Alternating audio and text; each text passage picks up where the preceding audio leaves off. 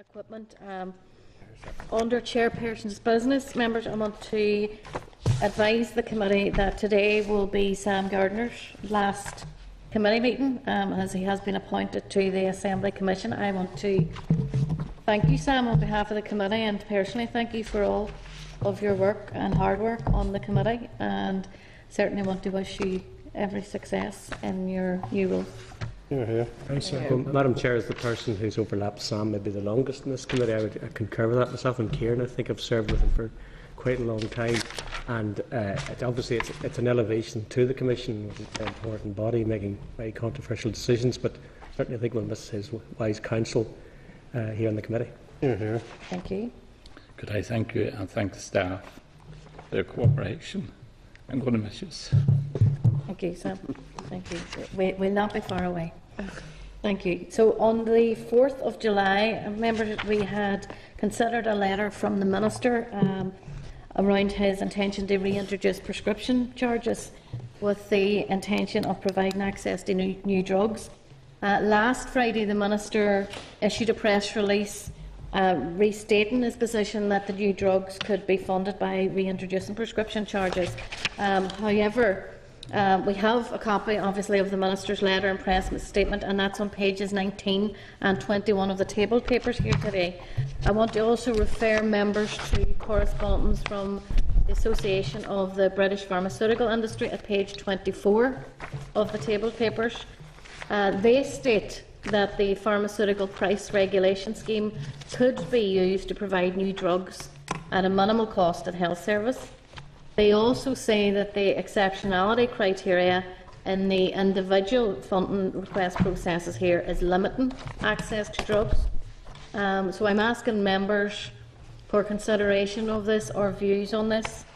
Um, I think that we need to seek clarity, firstly, um, from the Minister as to this scheme which the pharmaceutical company and indeed the research people at Queen's last week indicated came into function on the 1st of January of this year, uh, and if so, how much has been brought back into the system, uh, and if we get clarity on the amount, if that money can be made available or indeed targeted towards the accessibility uh, of, of the drugs that are, that are so badly required. I'm suggesting that we seek that clarification in the first instance. I think we have to do so urgently because it, it, it's, it's quite important that there is clarity there. Okay. Members in agreement, we Yeah. do that and we do that Yeah, with I the. mean, I, I'm totally supportive of it, though I know the answer. The answer is that the money that they save is then channeled back into A and E and other services. It's that that's the issue that there's plenty of places to swallow up that extra cash. Uh, but yes, they could physically use it to ring, rent a budget for, for cancer drugs. There weren't so many other pressing issues. Well, I think it would be worthwhile, again, respecting that there are pressing issues, but respecting that there is um, quite a stark inequality here in relation to access to these drugs. And certainly, um, we are being told by organisations like the Pharmaceutical Association that this money can be targeted and should be targeted towards accessibility to drugs. So I think we need to seek that clarification because we are getting two conflicting uh, reports to date, and there's an urgency to this. Yep. Great. Thank you. Okay, members, I also just want to raise the issue. Some members today attended the Older Persons Commissioner's uh, launch of a call for adult safeguarding legislation, uh, a very powerful uh, report in relation to lobbying for that legislation to be in place, one in which the Minister was in attendance. Uh, I'm seeking agreement that this committee write now to the Minister, given the fact that there's safeguarding policy uh, being examined uh, as to consideration to legislation to back this uh, important piece of work up. There was also um, a contribution by Professor John Williams from Wales, um, who I spoke to after, um, who's quite an expert looking at the different models in Scotland, Wales, and England, uh, and has offered and is quite willing to come and brief the committee or give evidence to the committee on the models that are elsewhere and potential opportunities um, for the north of Ireland to look at legislation to be put in place to protect. Um, particularly our elderly population. So I think it would be appropriate that we would look at um, as we go forward after recess, looking at convening an evidence session on that. So I Yeah. can give the details to the clerk. and know Kieran, you were there too. Yeah, just to, to back up exactly what you're saying, I did have the pleasure of being there this morning, and um, it was a very compelling argument. That I, I mean, I'm surprised that someone hasn't been in Northern Ireland before this in relation to what we're discussing. But nevertheless, it is it's a very important, and um, the sooner we get to something, the better. And I fully support what you're saying, Chair, on this issue. I mean, there was one one girl, and she. Um, spoke about an, well more than one incident and it was horrific uh, and it, it was carried out by a member of the elderly person's own family you know and these are things that, that just should not happen and, and if they do happen they should be uh, um, caught on exposed and dealt with very diligently I would have thought but I certainly support what you're saying Thank you, Kieran. Mickey? No, it's just one of the things that struck me about it. They mentioned a lot about um, if the same thing happened to children, because child abuse is such an emotive issue, and yet elder abuse is equally as bad, and yet it doesn't have the same profile. You know, so um, I mean, with statistics out a few years ago about the amount of calls to the elder abuse helpline. You know, from older people, particularly in some of them in residentials and that, and it's quite st- stark the, the stuff, you know. Okay. So It's, it's a very good subject to be dealing with, I think. Okay, thank you. Uh, I also want to advise members that the department has informed the clerk that there's plans to go to public consultation on proposals for a bill to deal with the secondary uses of patient information. And the department proposes to launch the consultation on the 30th of June 2014 for a period of 14 weeks. So are members content to invite officials to brief the committee on the proposals um, to our meeting next week? Right Okay. Also want to advise members that I met with the National Childbirth Trust uh, yesterday. They're keen to deliver services in the north, and they met with the Master on Monday. I'm suggesting, uh, by way of follow-up, that the committee writes to the department to ask for its views on the possibility of the NCT delivering training to local health service staff and running a pilot project. Members, You any can understand why they'd be keen to deliver, wouldn't you? I can take it that that's agreement to proceed on that, okay? Um, also, a group called Time to Change are running a project in the Western Trust area on alcohol, and they'd like to discuss the issue of minimum unit pricing with the committee. I'm suggesting that they are invited to the next stakeholders event. Uh, also informing members that we do now have a date for the next stakeholder event, uh, scheduled for Wednesday, the 8th of October 2014. Are members content? okay That's the 8th of October, and what time? The morning Two- or after? 2 p.m. it will be, yeah. Okay, members, moving on to item four, which is the draft minutes of the meeting on Wednesday, the 18th of June. They're on page 50. Are members content?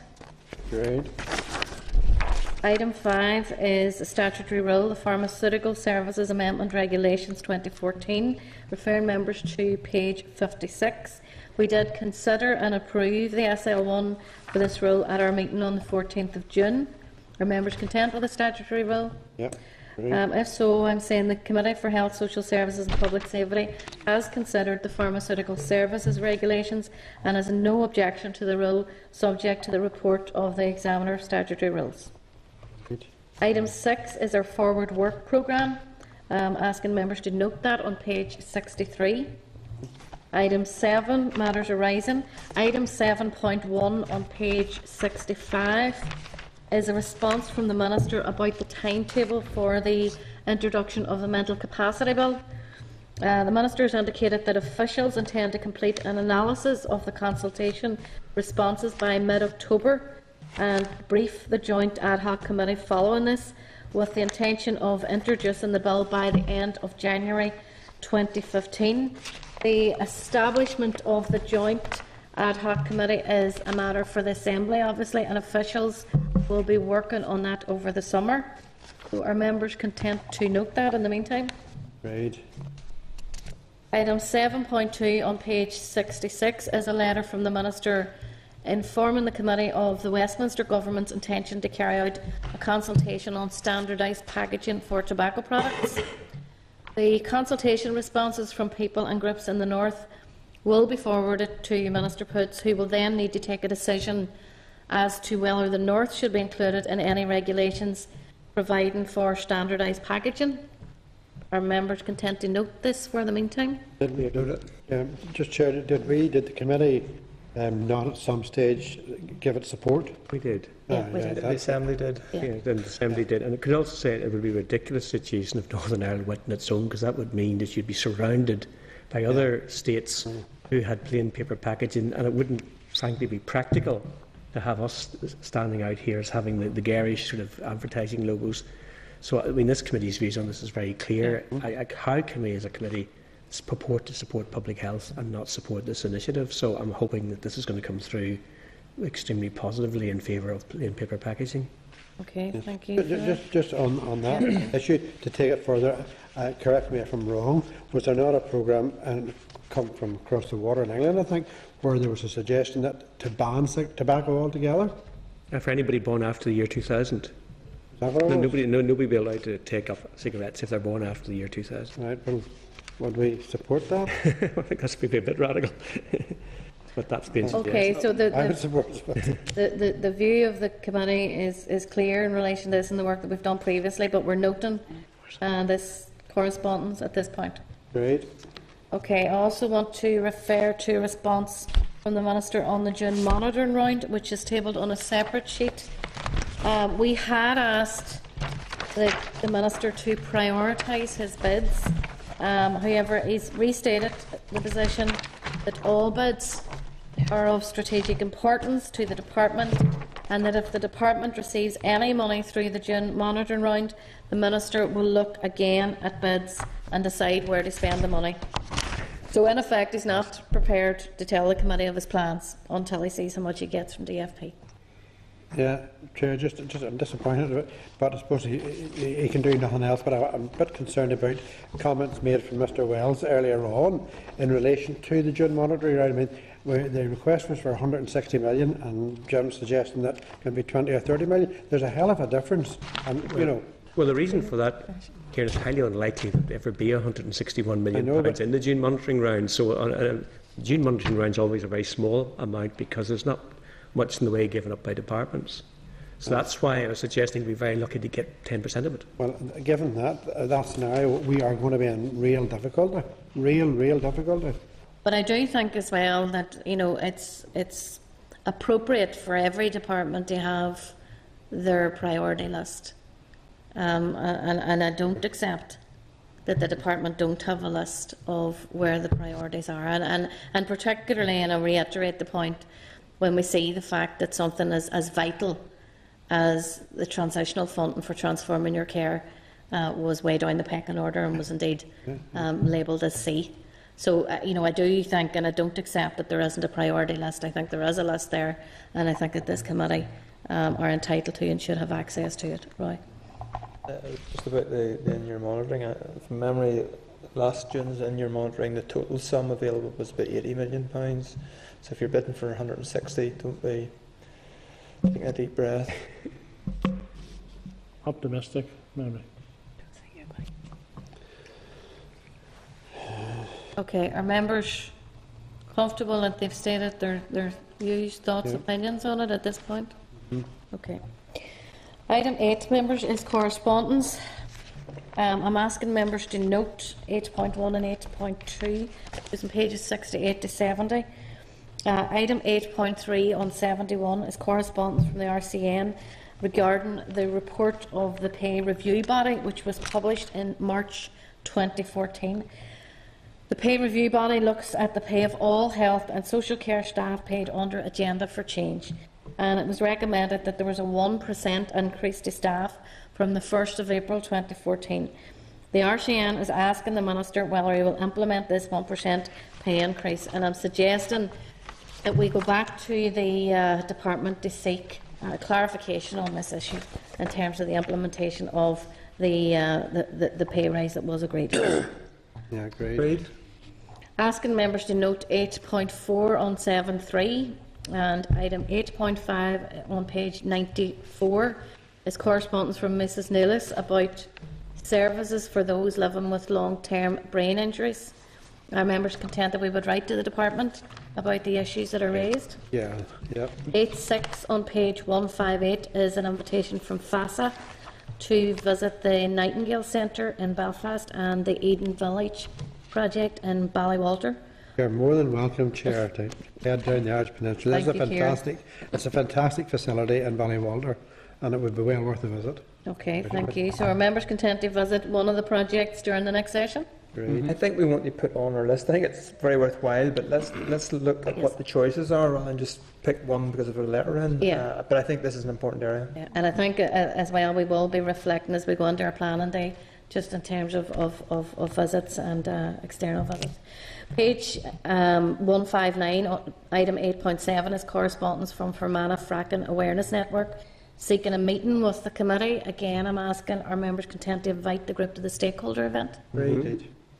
Page 160, uh, 8.8 is correspondence from Alcoholics Anonymous, again planning to organise an event in Parliament buildings. They haven't decided yet on their format, um, but if required, would uh, members be content to sponsor the event alongside possibly the Justice Committee?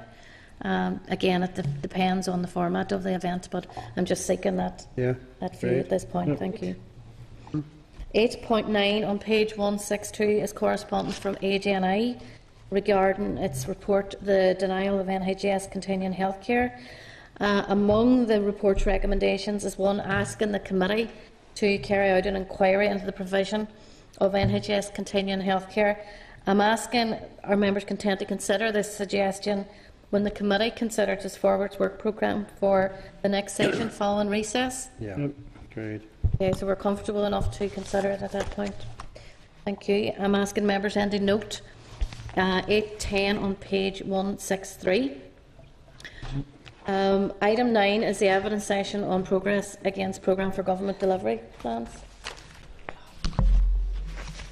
Okay, I'm just being told they can't be here to 4 o'clock, so we are going to have to adjourn. I'm off to justice. Please, sorry. Well, you were quicker in the session than Sure. had thought. Yes. probably not in. We still we have a quorum, and we have one? Um, yes, we'll have a, you need four, a quorum of four to actually take evidence, and five if you're making any decisions, you know, to write Okay. to or to do anything, or Okay. sorry about the time. We've got we've got more time to have that last cup of tea with Sam. Don't make me cry. All right. I would still be. Signatures, this is for the mm-hmm. non-stakeholder. Mm-hmm. I'll come in at the back. That's- You know, Thanks, you were Sam. mentioning that Enjoy your part, the safeguarding. Are you sending me home now?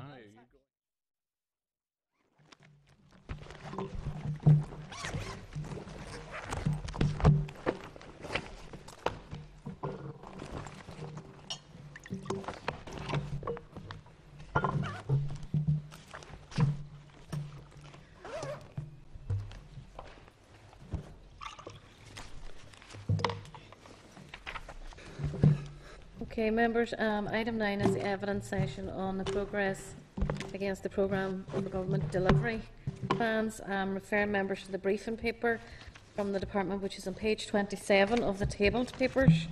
Uh, I want to welcome Julie Thompson, Deputy Secretary, Resources and Performance Management Department, uh, Ms Catherine Daly, Deputy Secretary, Healthcare Policy Group, Uh, and Mr Sean Holland, Deputy Secretary, the Department, and Dr Liz Rainey, Acting Deputy Chief Medical Officer in the Department. You're very welcome and well familiar with the procedure. So a 10-minute presentation, then we'll open it up to uh, questions. Thank you, Chair. And, and thank you for the invitation to appear before the committee to discuss progress against Programme for Government Commitments um, since our last appearance on this issue, which was in September last year. Um, in terms of um, how we will deal with any questions, Catherine will lead on responses to questions about commitments 44, 79 and 80. Uh, Dr Liz Rainey will uh, lead on commitments 22 and 45 and Sean will lead on any questions to do with commi- uh, commitment 61. Uh, the department leads on six commitments, um, each of which has three milestones to be achieved, one per year from 12-13 to 14-15, and those are all set out within the briefing pack provided to the committee. Um, two relate to the public health agenda and obesity. One is focused on long-term chronic conditions, one on safeguarding, improving safeguarding outcomes for children and vulnerable children and adults, and one on improving access to treatments and new services, and one on reforming the delivery of health and social care services to improve the quality of patient care. Uh, in line with the central framework and guidance, the Department has a pro uh, programme for government delivery plan in place for each of those commitments, the latest versions of which were sent to the committee in advance of today's session, and we send those to you at the request of the committee on a quarterly basis so you can see how those are, are moving ahead. Each delivery plan is owned by a senior responsible officer in the department. They are living documents which can be updated throughout the process um, and currently uh, we have kept in consistent with our milestones and the commitments. The latest OFMDFM approved progress reports are for March 2014, and that is the position that we would want to discuss with the committee today. Uh, the, that position, as reported and approved by OFMDFM, is that four commitments, that's 44, 45, 79 and 80, were rated green, i.e. fully on track for delivery, and two commitments, i.e. 22 and 61, were rated green amber, broadly on track for achievement with easily redeemable deviations. The Department remains confident that all the commitments reported as green amber will be back on track and will achieve milestone 3 by the end of year um, March 2015. The Department continues to monitor the progress of all our commitments and milestones through our own normal business planning, monitoring and reporting processes. There are regular reports to the Departmental Board and to the Minister. Delivery of these commitments and milestones also requires action by a number of our arm's length bodies, most notably the Health and Social Care Board, the Public Health Agency and the Trusts. And we work closely with those bodies to ensure that they are in a position to deliver on programme for government.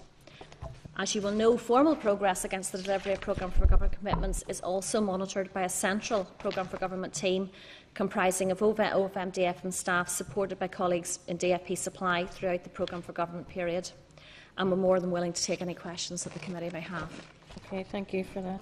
Um, just, I suppose, initially, in terms of the uh, commitment 22, I'm not sure who you said was dealing with that. Um, that's yes, I'll, I'll, deal with okay, that one. Okay. Thank you. Um, one of the, the issues is the investment of the additional 10 million in public health. Yes, that's right. That's right. Yes. Has that been invested? Yes, indeed it has, and in fact it has been um, exceeded. The baseline in terms of the PHA budget that we're starting from is 77.2 million back in 2011-2012. So an additional 10 million to that would bring it up to 87.2. And uh, last year and this year it is well over 90 million. So that has been exceeded. So far, the actual figures for 13-14 uh, funding from the department is 92.6 million, and for 14-15 the initial allocation is already 91 um, million, and there is additional money to come.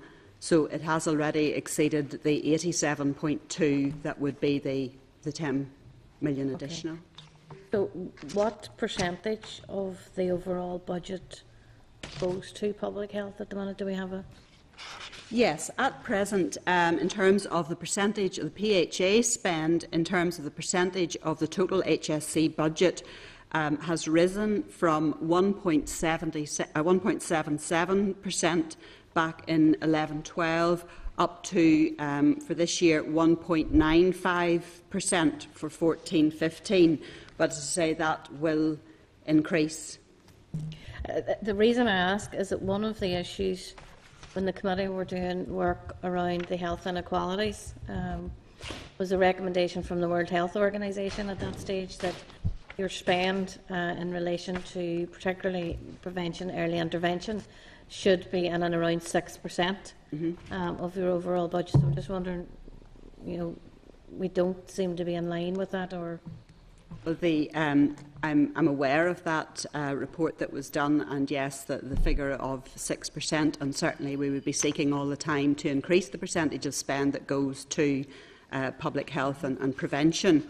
Um, the issue here is, I mean, a percentage depends on what goes into the numerator and what goes into the denominator, and we need to make sure that we're actually comparing like with like. Um, in terms of the WHO definition that's used, the OECD definition, that would be the things that would be included in the numerator in the top figure would be somewhat wider than what we would include in terms of PHA spend. And then also there's an issue of the denominator as to what's actually included in that, what it is a percentage of, whether it's health spend or health and social care spend. So um, our officials are working to look at the OECD definition and see if we used that and applied it to the spend in Northern Ireland, what the percentage would show so that we can actually be comparing like with like. So we know that in terms of the milestone, we have increased the, the spend by over 10 million now. We've increased the percentage up to just around 2%. But using the different methodology, we would only at that stage be able to compare it directly with the, the WHO figure. Now that work is being it's complex in terms of what gets included, what doesn't get included, and we want to make sure that we come up with a robust figure that actually compares with the OECD um, figures. And we would hope to have that work completed in the autumn and be able to share that with the committee at that stage. By the autumn, okay, okay. Thank you. The, the other issue was in relation to um, the item 80 or reference 80, which was the reconfigure, reform and modernise the delivery of health and social care services to improve the quality of patient care.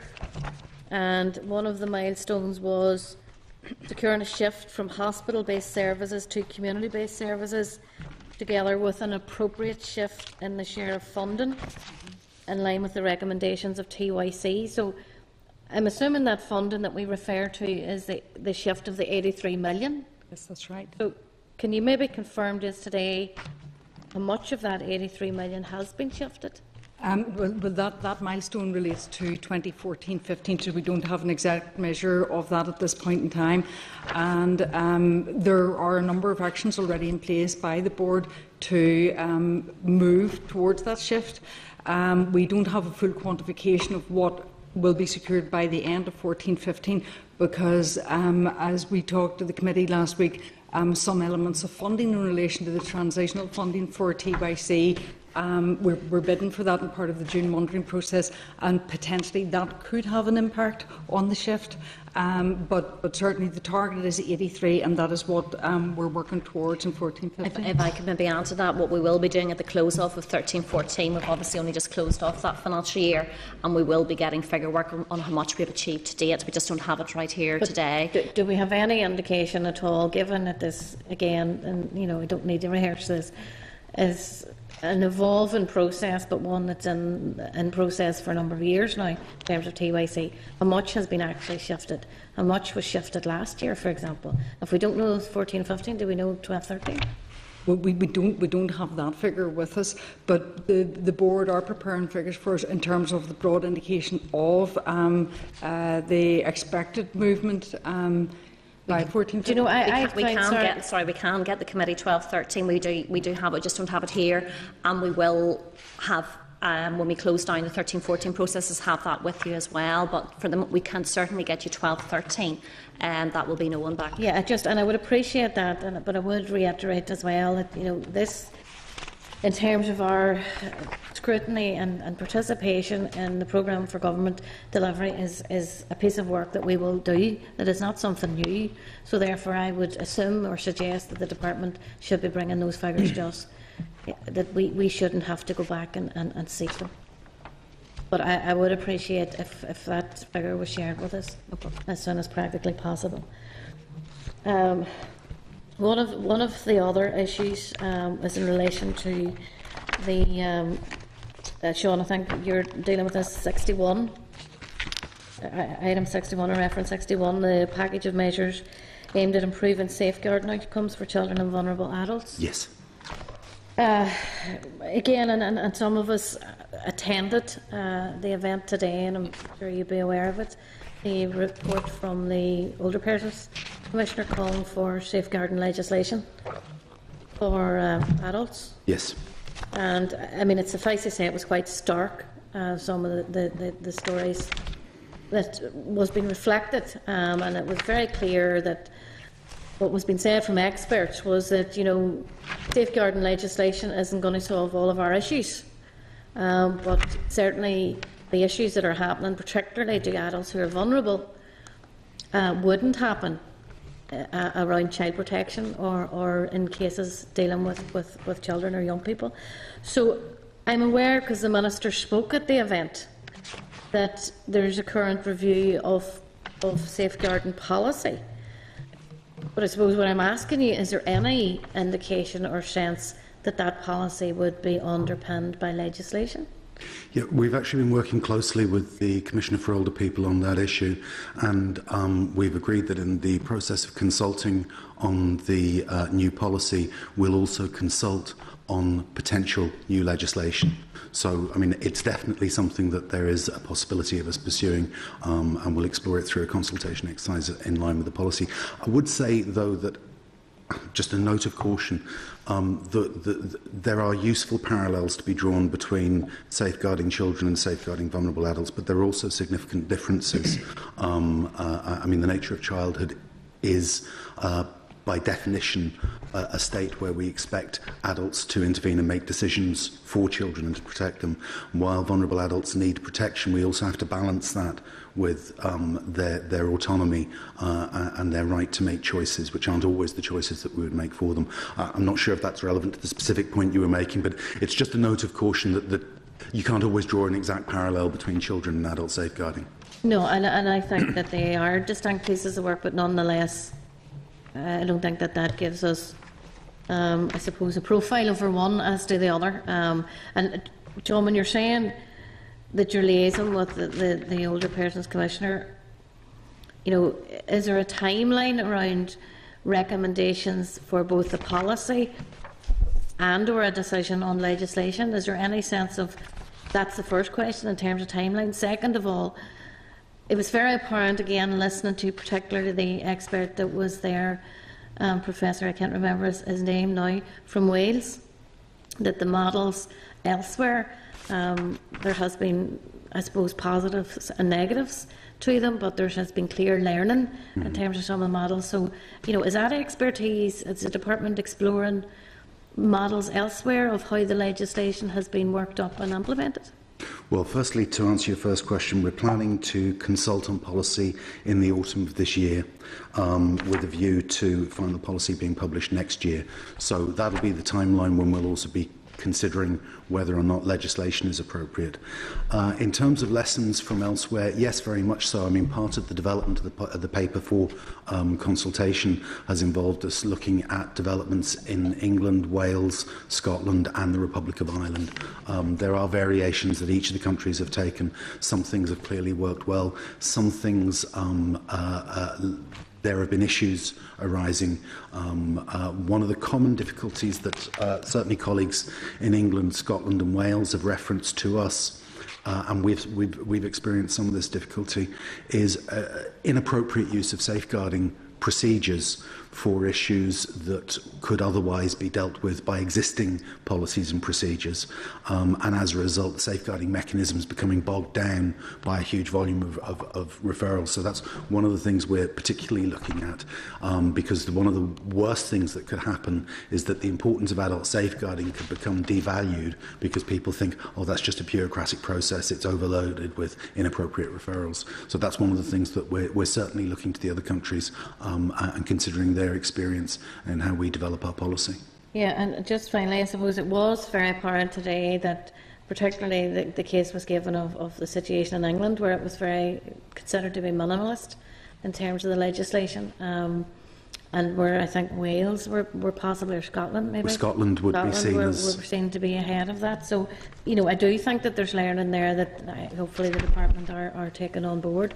But one specific issue in relation to the adult safeguarding is the issue of, of again, whistleblowers. So, Sorry, whistleblowers, yeah. and increasingly the concern that somebody comes forward to do what what is right and, and, and what we should be supporting in terms of their duty and responsibility, and are quite often the perception is that they are the person who has to jump through the hurdles, and, and quite often end up feeling more vulnerable than the, the, the story that they're actually taking forward or reporting on. So, you know, what are we doing to protect, in, in relation to this programme for government commitment, in terms of safeguarding, what are we doing to protect whistleblowers or support? Whistleblowing isn't featuring specifically within this programme for government commitment, um, uh, but as you'll be aware, because the Minister is actually in evidence to this committee, given a very strong commitment to supporting whistleblowers and has actually issued public statements on more than one occasion um, encouraging people to be whistleblowers if they feel the need to, to, to do so, and um, uh, also stating that they will be supported um, and need to be supported both by the Department, the HSCB, and employing organisations such as trusts. Catherine, I don't know from personal perspective no, I, I think to that, to that. No, I, I, don't think, it, just to, to, reiterate that point, yes, it's something the Minister um, has been very public in his view in terms of uh, the importance of the whole whistleblowing policy and the need to ensure whistleblowers are properly protected. So it is a key, key issue for the Department in working with all the HSC bodies. One, one feature um, that we are taking forward and have taken forward, uh, specifically in relation to safeguard, is training staff to understand what safeguarding is, what vulnerable adults are, and what abuse is, because I think that's one of the, the key things. People need to recognise uh, that a situation is unacceptable, um, to realise that they might want to be a whistleblower. Although, in many instances, and I would say the majority of instances, staff who, when they see something that concerns them, are able to address it without becoming a whistleblower as such. I mean, whistleblowing is where you feel uh, your organisation isn't taking a concern seriously.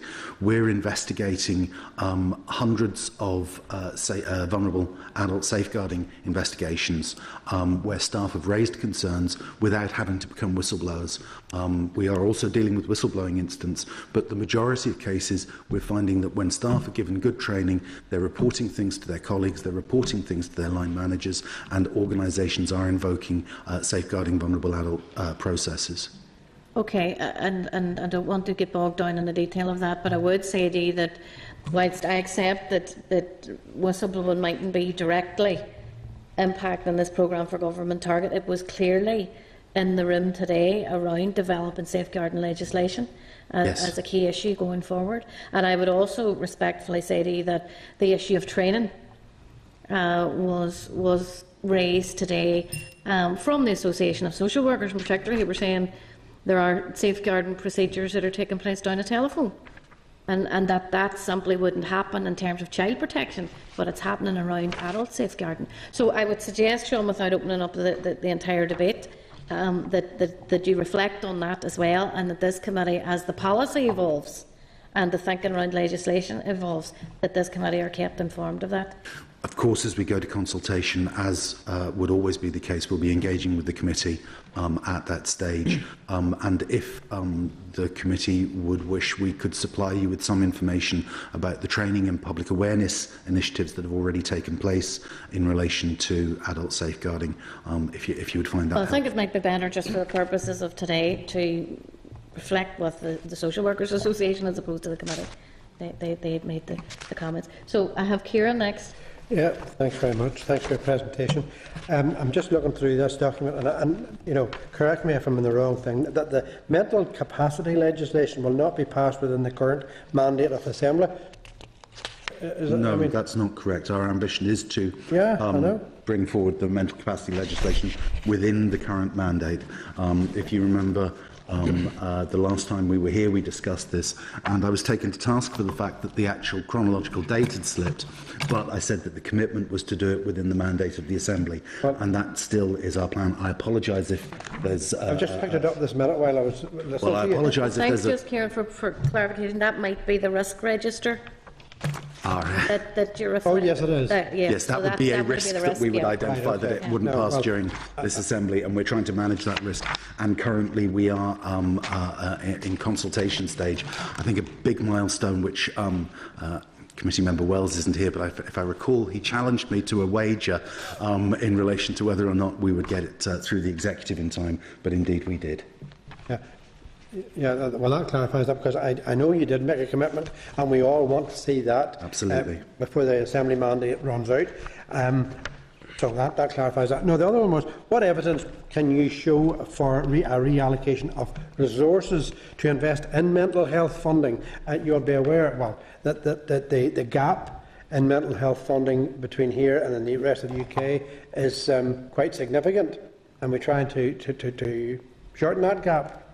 What, what, what, Yeah. what, I, ha- I don't have the figures with me, um, but there has been a programme of investment flowing from the Bamford Review Sure. um, uh, a, a number of years ago, and different investments have been made on the back of that. I'll be absolutely open. I think that the levels of investment never reached the ambitions that we had for that programme, but we could supply detailed figures for the investment since the publication of Bamford for you. Yeah, that would be very useful because, as you know, the mental health has always been the Cinderella of the health service, and we're trying to um, close that gap. And if, if there's any information that you can give us, it would be very useful. We will do certainly. Okay, right. Thanks, Chair. Okay, Roy, yeah. Um, looking through the, the programme for government commitments, you know, some of them are just about spending money as opposed to what the outcome's going to be of the spending money. Was that thought about before they were committed to? I mean, spend £10 million in public health and you tick the box and you've got your commitment and spend 2.8 million this year on, on um, obesity and you've got the... It's not about having carried about uh, health improvements and, and reduce the number of people who are um, presenting with uh, uh, obesity to our hospitals. I certainly I appreciate the, the, the, essence of the question. They, they, were, they were set up that way and agreed by the executive, I guess, and we have been uh, therefore uh, monitoring against uh, the way they have been specified. I understand completely the importance of well, what, what actually did you get out of that, and, and Dr. Ridley, I'm sure, could give you a flavour of, some of the initiatives that have been put in place because of that, but in, in both the public health and in the obesity side. Okay, um, certainly looking at the obesity, uh, the, two big things in obesity are to try and increase the level of physical activity and also then to make sure that people are eating sort of appropriate quantities of, of healthy food. Um, however, we need to take a wider approach than that to, to sort of look throughout life. So some of the, um, I'll just pick out a few examples here. In 2012-13, uh, some of the um, programmes or, or the pieces of work that were taken forward by funding were uh, on breastfeeding services, public information campaign, food poverty initiatives, outdoor gyms, uh, physical activity referral programmes, and some research into gestational diabetes. The following year, we, uh, the PHA was bringing in a pilot weight management programme for pregnant women who are obese because we know that that really is a, a risk for the, the women themselves and also for the, the babies. Uh, working with other departments in active travel for schools, allotment sites. Um, this year, then, uh, further developing the active travel in schools. There's a Belfast active travel pilot food in schools so that we're trying to encourage um, healthy diets in our young people right from an early age, increase fruit and vegetable consumption, and then improved coordination on, of the various activity referral programmes and further work on the, the breastfeeding strategy. So as you'll see, there's quite a wide range of programmes trying to address the, the entirety of the uh, factors that would affect obesity. I mean, we do know that um, obesity that's been overweight or obese. It's the seventh most significant factor in mortality, the eighth most significant factor in disease, and it can actually decrease life expectancy by up to nine years. And in addition, there's a considerable um, financial impact at a population level. Um, in 2009, uh, work was done that estimated that there was about 400 million um, that uh, was lost, or the cost of, of overweight and obesity to the population, 25% of that being direct healthcare costs and, 20, and 75% being indirect. So it's very important that we tackle that in a very broad uh, range, a, a broad manner. You're, you're talking a lot of worthwhile progress, no doubt, programs, no doubt, but um, are you getting top of the issue in terms of obesity? Is that, is, is, are the programs working? Well, that will obviously be reflected in whether we see that the rate of increase of levels of obesity, see if that is being, I suppose, stabilised and then ultimately decreased. In terms of the uh, strategy, the targets are to uh, decrease the, the rate of obesity and uh, overweight. I'm just looking for them here. Um, but obviously, program, programs like this will take some time. It's not just something that can be resolved by one year, two year, even three year funding. There is a major uh, change at so many different levels, and it is being um, closely monitored. Uh, um, BMI uh, measurement carried out in schools and so on, and um, the various programmes, there, there's always an, an, evaluation element built into them to make sure that the funding that we are, are investing mm-hmm. is used in the most appropriate and most um, effective and efficient way. And, and just the, uh, in terms of the, the, issues that are marked as, as being amber, um, I think it was 22 and 61. Why should there be any difficulties in with them? Well, um, if you'd got the papers a week later, the 22 wouldn't be. Amber, um, I'm very pleased to say that yesterday, uh, Minister uh, made a statement to the Assembly on Making Life Better, which is a new public health framework. And that was the one aspect of 22 that was outstanding. Um, the three milestones were for 12 13, there was the new policy direction, so that's making life better. You'll remember that the uh, publication of that was delayed to take into account the work that the committee had done on health inequalities and other evidence which had come forward in the meantime. So now that that has now come through the process and been launched and is now on the, the departmental website, so that is uh, that milestone has now been achieved, along with the bowel cancer screening one and the additional 10 million in public health spending, which we mentioned at the start of the, the session here. And, and the milestone three for a programme of government commitment 61 in terms of uh, uh, developing an updated inter-departmental child safeguarding policy framework. Is it a number? Is it, it is currently a number. I mean, there, there are different reasons for um, uh, the uh, delay on um, 61. I mean, we've had some issues where key staff have moved on, and you obviously have a period of time where you're waiting for a new member of staff to get up to speed. We've also had some issues in relation to some new initiatives, uh, particularly in relation to sexual and domestic violence, where negotiations with stakeholders about the shape of a new initiative, and I'm thinking particularly about the uh, independent domestic vi uh, violence advisors and independent uh, sexual violence advisors. Um, stakeholders have been engaging with us about what the job description should look like and how they should be deployed, and that's turned out to be a more complex process than we had envisaged. Um, and then we've also had some additional work um, that we hadn't planned, but it's been very important work. Uh, indeed, the Chair's question referenced some of it earlier. We've been engaging significantly with the Commissioner for Older People uh, in relation to her report today, um, recognising that that work would be of value to us when we publish our, our policy. And we've also uh, had some additional work, and again, relevant work, but it was additional, working with um, uh, Lord Morrow's private members bill on trafficking um, and making sure that we were taking into account those developments in the development of our policy.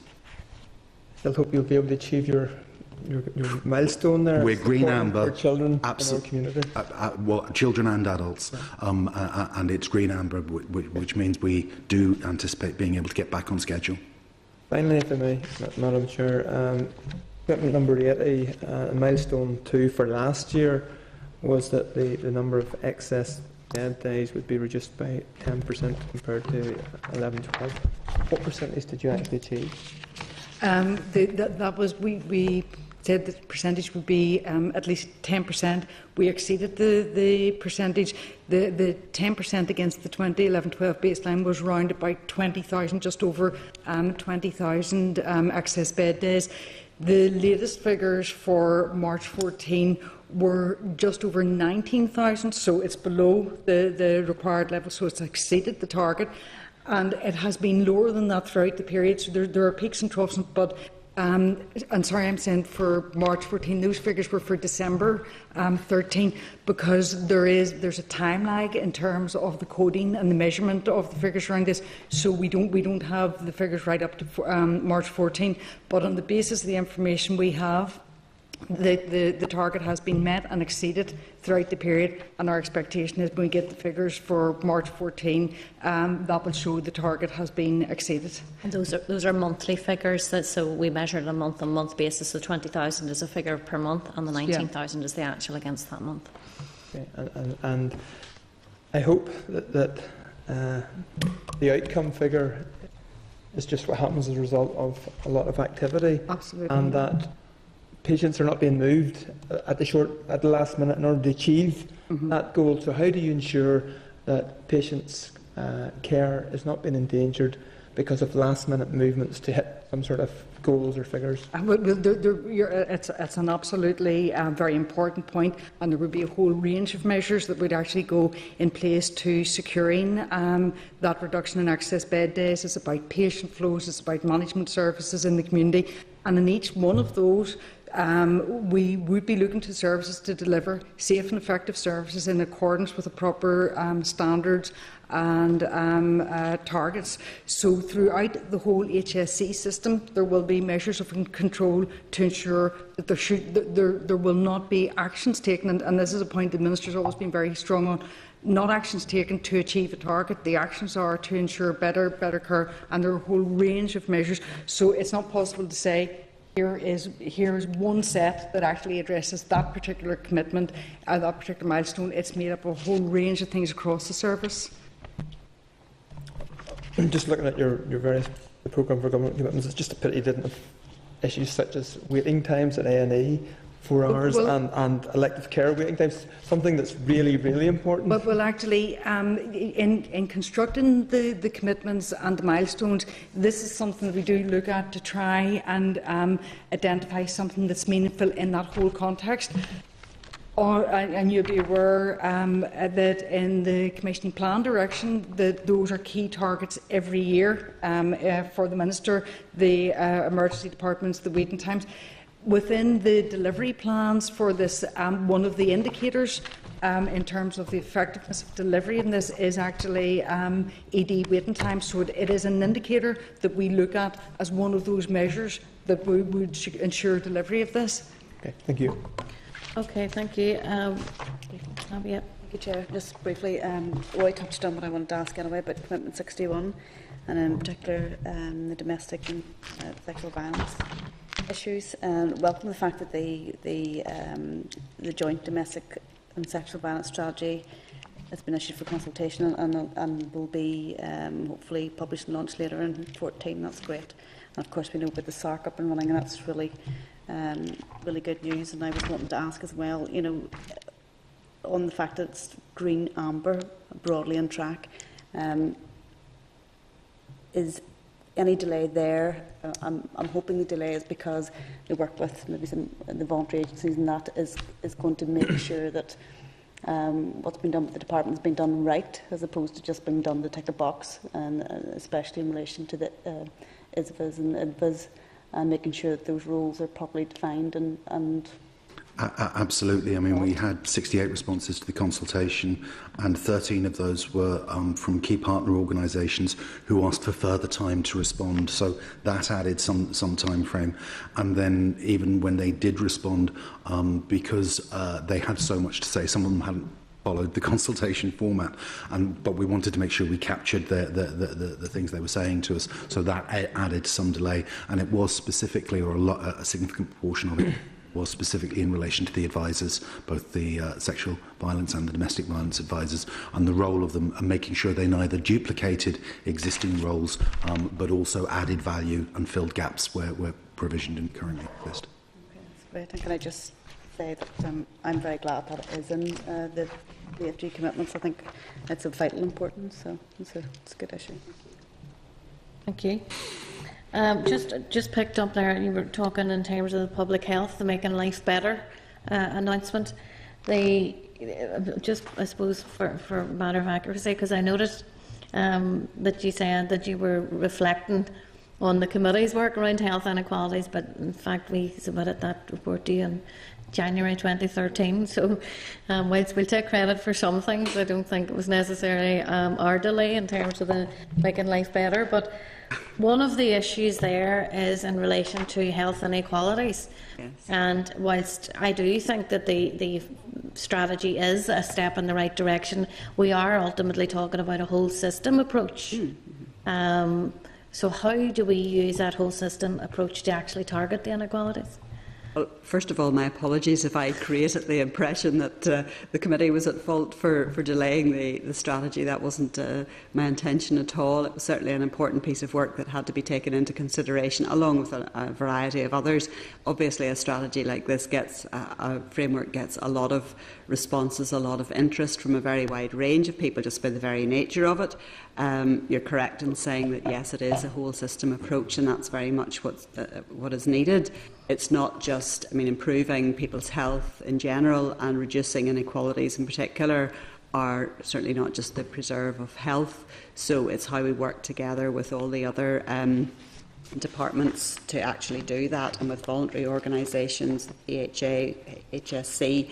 Um, and that will be, be what's, what's required really in taking that forward is, is how we do work work together with, with them all. Yeah, I think, sorry, because I, I had asked this question the other day too in, in terms of the debate but or the ministerial statement. Uh, My question really is that the, the, the statement reflects on the fact that it's almost going to be one size fits all in relation to health inequalities, although there is a concept of proportionate uh, universalism built in. So my question is, if we know that health inequalities are so stark um, between those who have and those who have not, quite bluntly, how does a system that is going to take account of accessibility for all sections of society actually address the inequalities?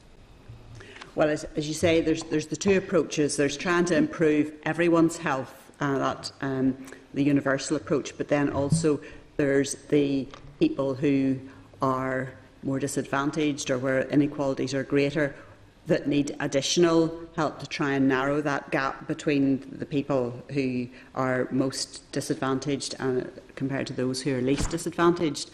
Um, there, probably, there isn't a one size fits all, and it's trying to then go down to a lot of work required at local level to communities who will know what is required for their particular locality. And that's where work between um, the PHA, the board, local government particularly with the changes that are occurring there and the need for community planning so that the approach is not just a blanket approach but so that it's tailored very specifically to the needs of local communities because obviously we've got to again try and make sure that the resources are used in the most effective and most efficient way to have the biggest impact and I think that that's where local communities working with them knowing what the particular needs are of geographical communities or vulnerable groups that work can be targeted there. So we're not starting from a blank sheet. There's a lot of excellent work going on at the minute um, and has been for many years, uh, following on from the whole investing for health um, strategy dating back to 2002. Um, and it's trying to make sure that we build on that. It's time to, I suppose, give things a bit of a refresh, just make sure that that uh, setting that strategic direction, and that's that's um, where we're, we're pleased that the, the new framework has been published now in trying to, to do that and to refocus efforts and uh, make sure that, that we're able to move this forward. Okay, well, I mean, I would, I would suggest that what we do, you know, the, the health inequalities, I don't think that we necessarily need uh, much more work, um, whether that be with local authorities or trusts or anybody else. We know uh, where they exist, we actually know locations, we know geographical areas, and, and we're very clear that in order to redress those patterns um, and change the outcomes, we need to be doing something very different, which is ultimately about targeting and monitoring and evaluating. Um, so I would, you know, suggest to you that that process around the whole systems approach versus targeting that, that you maybe come back to us in writing on how that actually will be uh, pursued. because I think the risk in all of this is that if it is one size fits all, or we take that approach that it's one size fits all, that we miss um, some of the, the harsh realities in terms of health inequalities. I wonder, Chair, if I could just maybe pick up and just add to that in terms of um, when the Minister setting out the priorities for the HSC and setting out the um, commissioning plan direction. And while the commissioning plan direction is scheduled to that is the targets and the very specific targets, the commissioning plan direction sets out the Minister's direction to the Health and Social Care um, Commissioners about services to be commissioned, taking account of the strategic issues and, um, and strategies for the department, which would include um, uh, this strategy. So it's, it's encompassed within that planning work for the commissioners and would be reflected in the commissioning plan direction. So that's one key um, area in terms of where the minister would um, communicate that requirement. But specifically, I suppose, in terms of just moving this on, because I don't want to get into the, the minute detail of it, but I think it's hugely important. What I'm saying is that in relation to the Making Life Better strategy, as it moves on, if we could get co- correspondence from you as to the issue about accessibility to public health generally, and then within that, how that will be targeted, so that we can sort, start to get a sense of of how that target will eradicate. So if we could get that and continue that, that communication, that would be useful. Finally, the, the point that I just wanted to raise was in relation to the um, 79 um, Programme for Government Commitment 79 was imp- improve patient and client outcomes and access to new treatments and services. It's green, it's fully on track for delivery. It's about enhancing access to life enhancing drugs for conditions such as cancer. There's a list, but it's cancer. So I'm just mindful of the very public debate at the minute Yes. and the inequality that exists there. But how can we be green and fully on track? Um, well, well, certainly we are in terms of um, what was required um, under that specific milestone. Um, and just in terms of, I mean, the, the, the, the milestone there, I mean, for uh, 13 14 was it specifically in relation to the rolling out of the family nurse partnership. Um, there are a whole combination of things right across the, the three milestones for that um, commitment.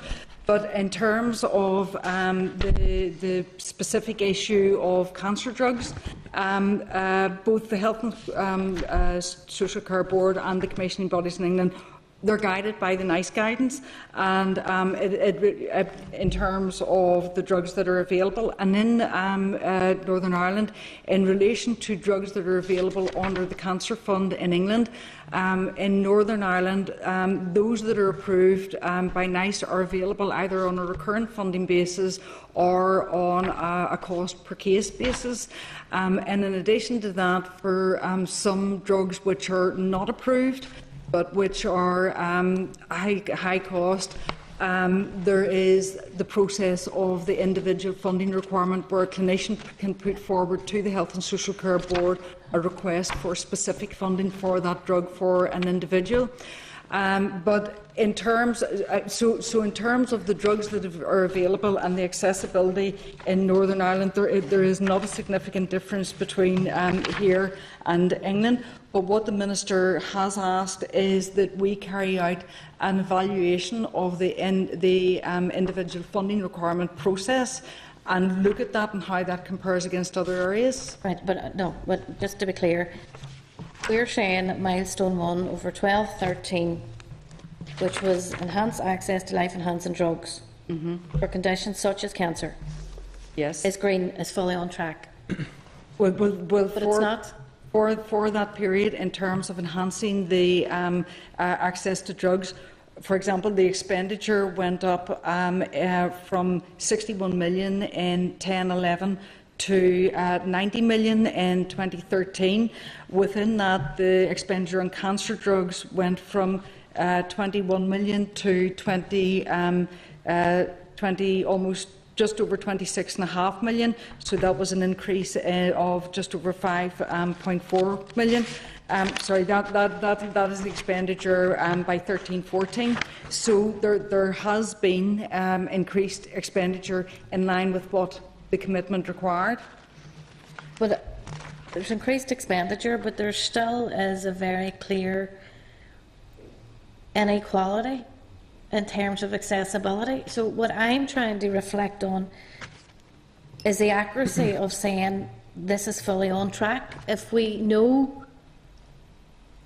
that there are 38 cancer drugs that are available in England, Scotland, Wales that you cannot access here, so how can we say that we're on target? Um, in terms of the 38 cancer drugs, um, uh, if, if, I, if I can just quote from my briefing on this, um, Chair, um, it has been widely reported in the media that there are currently 38 cancer drugs available um, in the Cancer Drugs Fund in England, um, but which patients in Northern Ireland cannot um, uh, access. Um, uh, the position is that all licensed drugs for treatment of cancer can be made available to patients in Northern Ireland, either as drugs that are routinely commissioned, that, that was the recurrent um, funding that I was talking about, are drugs that are provided on a one-off basis on the basis of a patient's clinical exception. But I, I think you know that's that that's an issue in all of this as well.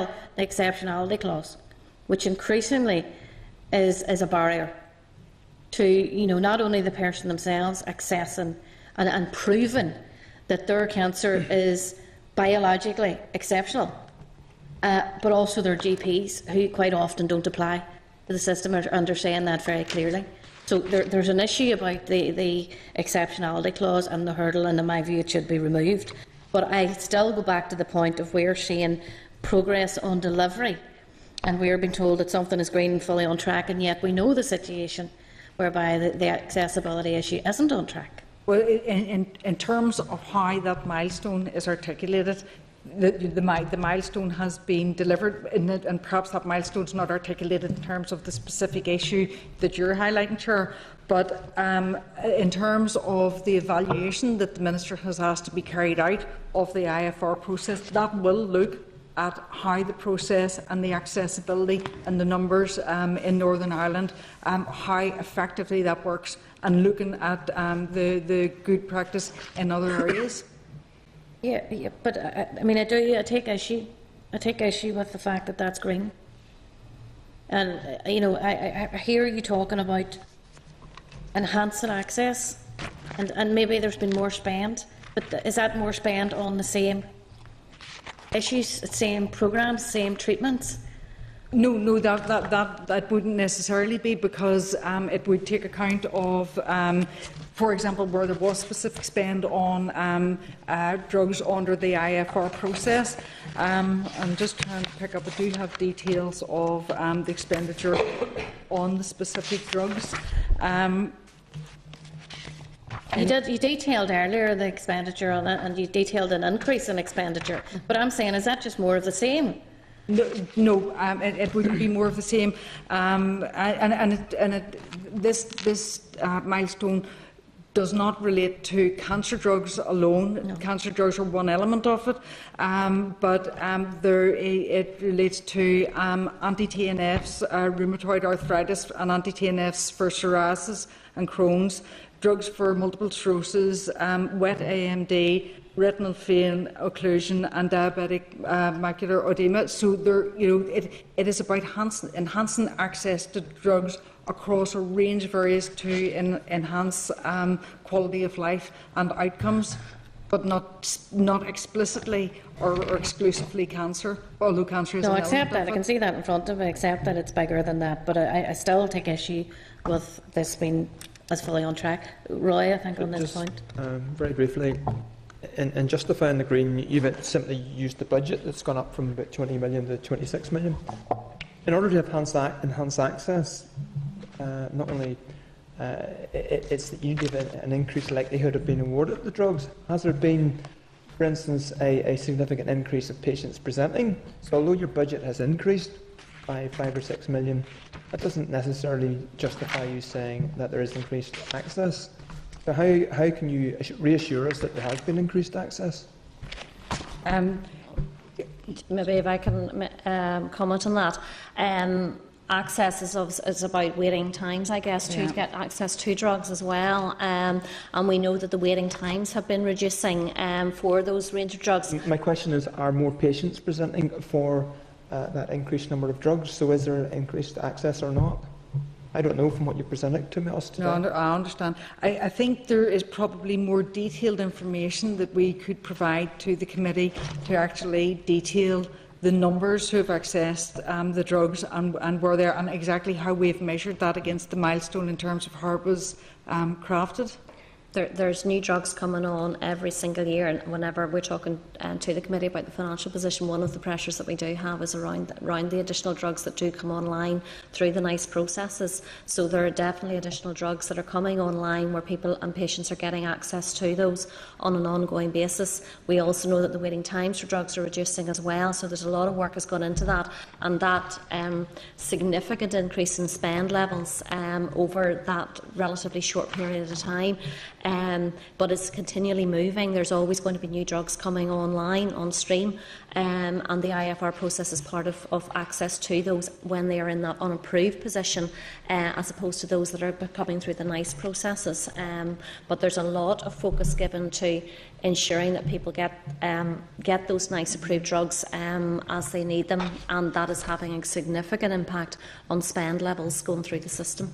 The final point, of the impression that, that I have t- taken from clinicians is that IFR is not giving access; it's limiting access.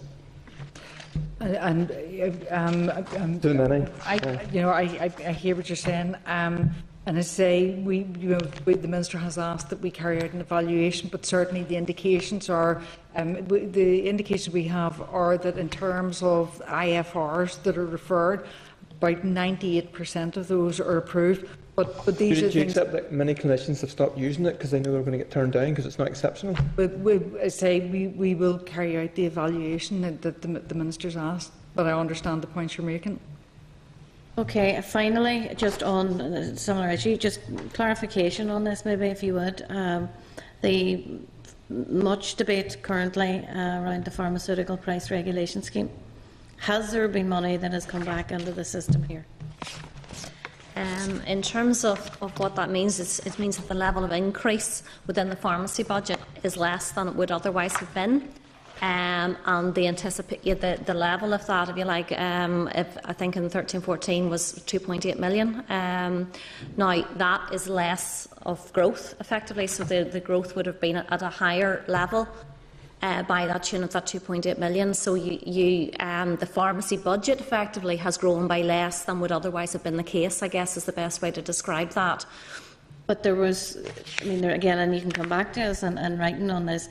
There's an indication, particularly from, indeed, the Cancer Research UK and the Pharmaceutical Association, that this the new regulations actually only came into place on the 1st of January of this year. So it's not previous years we're talking about, that this scheme that was signed by the industry and the Department of Health in Westminster it was only from January. So my question is, since January, has there been a return? And if there has been a return, how much? And if there has been a return, has it been targeted towards the accessibility of, of treatments and drugs? Uh, You're absolutely right. There was a new scheme from the 1st of January 2014, and what it has done is limited the increase in the pharmacy budget. The pharmacy budget increases on an ongoing basis, um, um, both in terms of, of drugs being coming available and also in terms of, of price inflation and, and what have you. What that scheme does is reduce that level of increase. So whenever we're talking uh, to the committee about the overall financial position, um, that pharmacy budget and the pressure within it has been moderated or reduced by the PPRS scheme um, as it's come into play. So it, it impacts on the level of growth within the pharmacy budget and means it is at, at a lower level of growth than would others been the case, but it's still increasing um, as we look ahead. So why do organisations say there's a return into the system? Because it's a, it's a lower level of, of growth. Okay, so there, there, how much, how much of a, a difference are you talking about? Well, my understanding is, we need to clarify the number, was it's uh, 2.8 million from the old scheme in 13-14. Uh, I'm not sure of the numbers as we look into 14-15, and we need to come back to the committee on that. Well, can you come back to the committee on that? And you see the, the, the, the 2.8 million 13, 14, was that just directed across the system or? No, it, it impacts on the pharmacy, within the pharmacy budget. So the pharmacy budget would be, um, or spend level was less than it would otherwise have been. Um, but there's still a pressure within that overall budget. So it means that the, the level of increase in that budget is less than it would otherwise be. and that impacts on the overall financial position as we as you look at it. can you clarify then for us, not now, but come back to us, you know, as soon as possible, in terms of the new contract that was signed from January? And the implications of that, okay. Okay, thank you. Um, there's a number of issues there we raised that we would like correspondence back on, um, and we'll just look forward to your responses. Okay. Thank you. Okay, members, um, item 10 is any other business? And date and time of next meeting is the 2nd of July 2014, starting at 3 p.m. in the Senate chamber. Thank you.